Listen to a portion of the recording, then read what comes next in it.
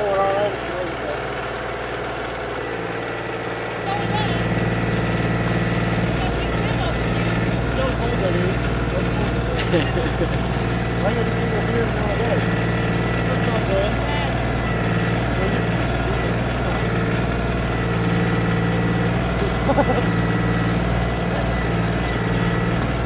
Peter Day keeps the fear away.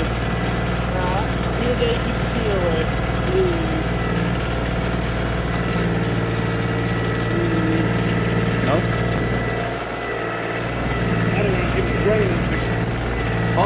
Go. There we go. Two ladies on the tractors. That's cool.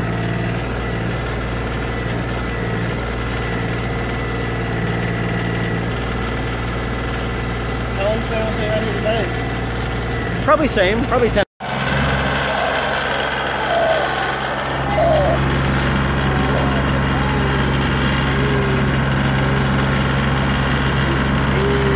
Over there.